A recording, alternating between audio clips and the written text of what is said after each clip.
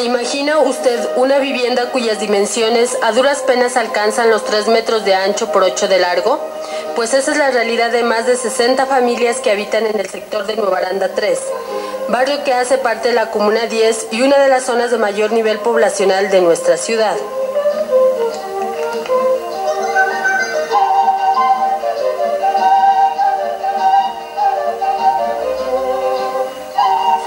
A lo lejos se miran unas pequeñas casuchas que difícilmente hacen suponer que son habitadas por seres de carne y hueso.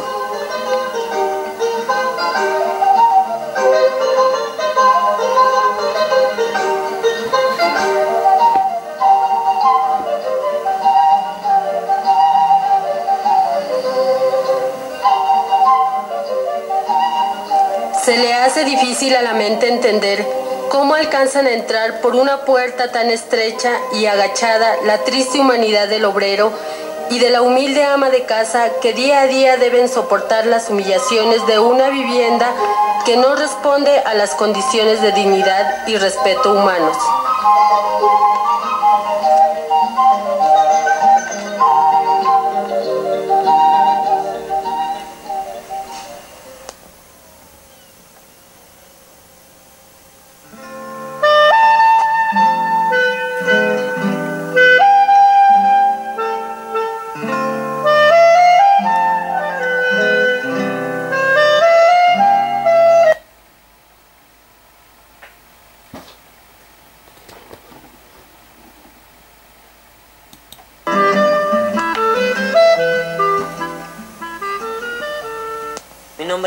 Wilson Andrés Rivera. Wilson, ¿cómo llama ese barrio? Esto se llama Nueva Aranda Tercera Etapa. Bueno, y el proyecto de estas casas, ¿quién, ha- quién hizo este proyecto? Este proyecto, según tengo entendido, es la constructora Trujillo y Serrano. Pero anteriormente a, a Constructora Trujillo y Serrano, ¿quiénes iniciaron el proyecto? ¿O alguna junta directiva? No. ¿Alguna entidad? O sea, no, únicamente se recibió formularios, uno iba a comprar el formulario a Trujillo y Serrano. Eh, metía, solicitaban unos papeles, ¿no? Que uno, pues, eh, los diligenciaba y los iba a dejar allá. ¿Cuánto fue el costo que les pidieron a ustedes para tener au- auxilio en estas casas? Eh, nosotros hicimos un ahorro de 1.350.000 durante un año. Yo tengo una cama, dos camas prácticamente, y un nochero nada más. ¿Y los niños? Eh, duermen en una cama, los tres niños y yo con mi esposa. y la parte de lo que son la, la sala. No. Uno, uno a veces busca comodidades, ¿no? Por ejemplo, sí. tener su salita, tener su equipo de sonido, su televisor. ¿Ustedes cómo? ¿Cómo están en esta cuestión de, de vivienda? O sea, la prácticamente en la, en la, en la de donde uno habita es en la sala comedor que le entregan según los planos. Ahí uno tiene el dormitorio. ¿Y ustedes tienen previsto algún día poder levantar? Pero sin, sin tener a- auxilio del gobierno ya, porque eso ya les entregó el gobierno Eso y, con- la, con- constructora. Sí. Pero posteriormente, Pues esperar a que uno que tenga un ahorro pues ir ahorrando, ¿no? Para poder construir, hacer, por lo menos tener el cielo. ¿en cuánto tiempo más o menos ustedes podrían decir, bueno, voy a construir más, a, a- a levantar mi casa más? Pues yo creo que en mi caso me demoraría, porque en este momento soy desempleado. De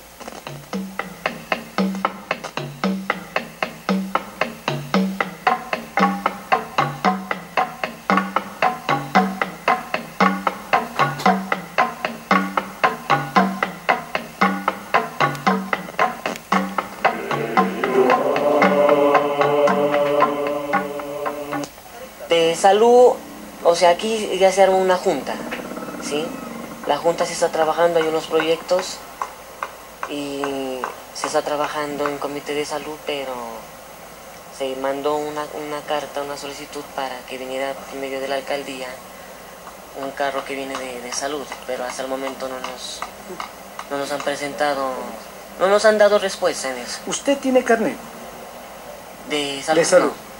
¿Qué estrato lo tienen, eh, este barrio, qué estrato es? En eh, la junta, ese, ese, las casas las entregaron con extracto 2. Estrato 2. Sí, pero la junta hizo unos, unas, unos papeleos y únicamente se, se bajó el extracto del agua, porque llegaba muy caro.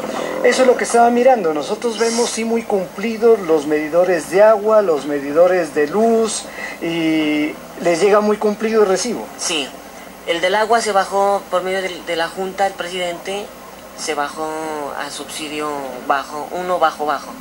En ese momento estamos luchando, no nos, no nos, no nos quieren hacer caso eh, los de Sedenar. Ya se mandó dos solicitudes de que vinieran a revisar los contadores, porque están llegando de promedio de cada mes entre 200 y 250 de luz. Se ha pedido que vengan a revisar y ellos dicen que eso es lo que está gastando en promedio. Y prácticamente lo que uno tiene aquí son tres bombillos. Lo que es la, la sala comedor donde uno habita, duerme, el baño y la cocina. Entonces la mayoría de aquí tienen tres bombillos, yo creo que es, es ¿Han tenido visita del alcalde, de alguna persona del gobierno que les haya prometido algo o les dé algún horizonte, alguna luz? No, no, por el, por el momento visita de alcalde así no. Y visitas, como usted decía, de carros de salud que vengan a la cuestión de odontología, medicina. No, eh, como le informo, nos, por medio de la Junta se mandó una carta a alcaldía, pero no nos ha manifestado ningún interés. Entonces estamos a ver si de pronto por medio de, otro, de otra parte, no sé, a ver si nos pueden atender en eso. Porque aquí hay mucho niño y, y mujeres, ¿no? O sea, pues de bajos recursos que uno no tiene la plata suficiente como para pagarse un seguro, costearse alguna enfermedad o algo.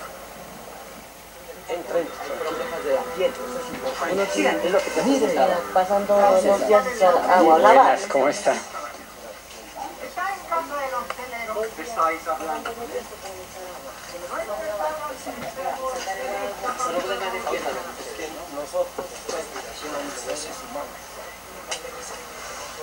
Hola, ¿cómo te llamas?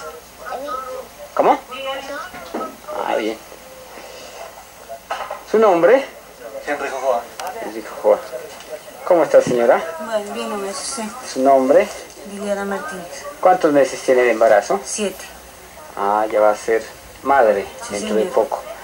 Eh, cuéntenos un poquito cómo es su vida en esta casa, qué Pues problemas ahorita- tienen. Ahorita vivimos en estrechez, así como se dan cuenta. Pues yo tengo dos hijos más y necesito pues al menos este, un poquito más de espacio para los niños. Ajá. Construir el otro lado, es lo que más nos...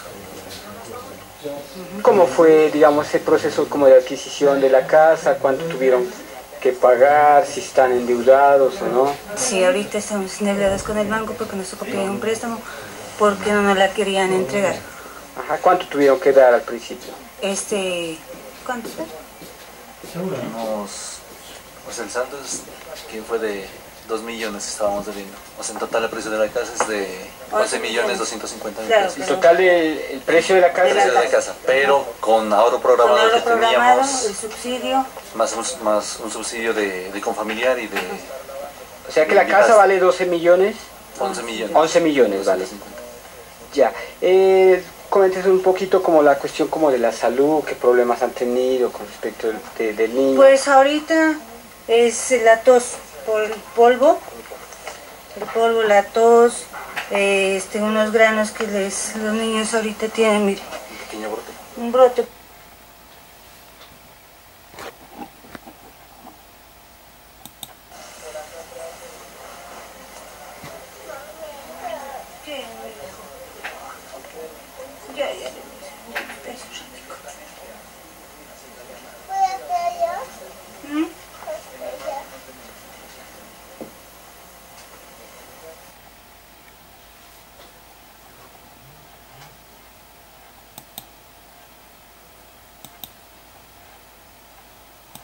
Es que nos atrevemos a decir, a decir que aquí se cometió un atraco con la necesidad de la gente. Cuando nosotros miramos las películas nazis, cuando nosotros miramos toda esa cuestión de guerras, vemos esos guetos, vemos esas cárceles, se nos vino a la memoria y estábamos hablando de eso, mm, periodista Pablo Emilio. Justamente en un artículo que elaboramos para el Diario del Sur, nosotros le titulamos 3 por 8 igual injusticia social, haciendo referencia a las medidas de estas viviendas que son 3 de ancho por 8 de largo. Y lo subtitulamos El caso de los guetos en la Nueva Aranda. La verdad es que no entendemos nosotros como una constructora, eh, en este caso Trujillo, Serrano y compañía, eh, ultraja así la dignidad de las personas. No entendemos cómo las entidades municipales, cómo el mismo municipio eh, permite eh, que se ultraje, repito, porque no hay otra palabra, que se abuse de las personas, que se cometan este tipo de irregularidades y que como muy bien lo podríamos denominar nosotros, estos son los nuevos guetos de la Colombia y del, nuevo, y del municipio de Pasto, donde tanto se nos dice que Pasto merece respeto. Nosotros miramos a 200 metros de la nueva Aranda 3, casas, pero en realidad casas con algunas condiciones por lo menos mínimas. Sí, es que todo ser humano necesita unas condiciones mínimas para vivir. Lo que no encontramos aquí, aquí encontramos que en un cuartico de 3 por 8 eh, es el sanitario, es la cocina, es la sala comedor, es decir, es todo y es nada. Y justamente, mire, además de estas casas que usted nos dice, miramos aquí eh, a pocos eh, metros eh, esa gran obra de la piscina olímpica del barrio Aranda donde se invirtieron miles de millones de pesos, como siempre. Se cree que el progreso es simplemente levantar unos cuantos muros, destinar miles de millones de pesos a obras de concreto, pero descuidar lo más esencial de nuestra sociedad, las personas, y en forma muy particular lo más sagrado que son los niños, porque aquí encontramos niños hacinados, niños que tienen problemas de salud, niños que no tienen espacio para la recreación, niños que viven en unas condiciones que tal vez ni siquiera en esos guetos judíos se las vivían. Nos robaron. Sí, ¿quién cree que le, sí, hay que tener, ¿quién cree que le roba a ustedes? Nos robaron, pues la constructora, no creo que el gobierno o con familiar, no sé por qué, nos, a mí me dieron el auxilio de vivienda, me lo dio con familiar. No sé, no sé en qué momento se, se, Se perdió la se plata. perdió la plata. ¿sí? ¿Han hecho ustedes o han interpuesto alguna medida ante las autoridades, ante un juzgado, etcétera? No, no, no, no. ¿Piensan hacerlo? Yo de mi parte sí pensaba, porque eh, no es justo que por lo menos un- una vivienda de estas cueste 11 millones. Bueno, No, ¿y cuántas casas de estas hay aquí? ¿Cuántas viviendas son en Son- las mismas condiciones? Son 281 casas. 281 casas en las 281. mismas condiciones. Sí, las mismas condiciones. Ahora, ¿cómo es un día de la vida de ustedes en este tipo de condiciones? ¿Hay tranquilidad, hay comunidad, hay armo- armonía, hay sitio para la intimidad? Cuéntenos, a ver, ¿cómo es un día? Ábranos las puertas de su corazón. No, no creo, ¿no? Porque imagínese ahí tenemos la, la sala, según ellos es la sala, comedor, alcoba no hay. Ahí ustedes miran que alcoba no hay. Está el baño y la cocina que es muy pequeña y el lavadero atrás descubierto. Lavamanos, sí, lavamanos. Bueno, eh, ha pasado algún tiempo, ya han pasado unos seis meses. ¿Por qué no se ha organizado la comunidad? ¿Por qué no han protestado? ¿Por qué no se han hecho sentir ustedes? Tal vez porque nosotros somos conformistas, ¿no? Nos entregaron eso y qué rico que nos entregaron, pero nada más.